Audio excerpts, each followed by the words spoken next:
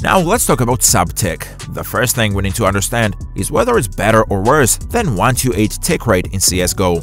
The thing is, the tick rate can be increased infinitely, but it won't fix its inherent problem. There will always be a delay in registering player actions because the server simply doesn't consider when a specific button was pressed. Even at the tick rate of 128, the server would prioritize packets it received earlier. This is why Valve decided to develop a new system that is much fairer and more accurate while maintaining the same load on players' computers and game servers. Technically, subtick provides accuracy comparable to a 1000 tick rate or more. Now your FPS is basically your tick rate, because the more FPS you have, the more precise information you transmit to the server.